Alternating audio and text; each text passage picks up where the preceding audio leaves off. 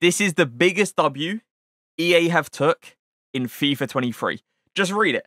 Just read it. I don't need to read it out. Y- look at that. That is beautiful.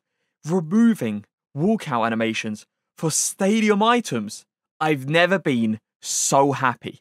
Like you guys don't understand. When I saw this, I like I, I just smiled. You know, I just smiled. It's just so relieving. Like seeing seeing it not walk out anymore is gonna be so good. I don't know when the update's gonna happen though. I don't think there's a date. I think they said coming soon.